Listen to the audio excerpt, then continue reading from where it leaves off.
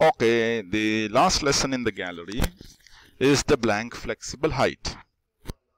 So we'll put it here we'll put a button and again the magic of the button. So I'm not sure if I have that code here. Yeah I have the code and I'll put this. Oh those three guys. Oh, man.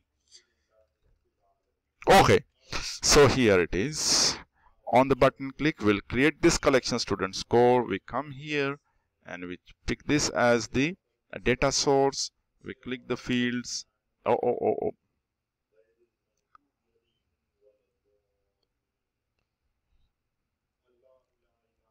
okay let's run this once and see. Okay. So on the on this. Data source student edit student score edit. And then we'll okay we'll put some controls here on this. Don't need this. We'll put a label. Another label. So two labels.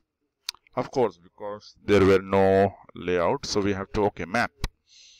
Uh, we can say uh, this guy uh, edit fields so label 1 student name label 2 is score. So we'll we'll make it smaller nice small so people can scroll. So we can also demonstrate how to use a small scrollable area. So this is this and uh, we will we can make it uh, vertical. Since it's vertical we can make it uh, big uh, no no no no tree view the gallery. Okay now we scroll it down. Mm -hmm.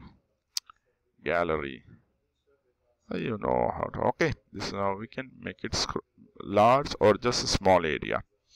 That's it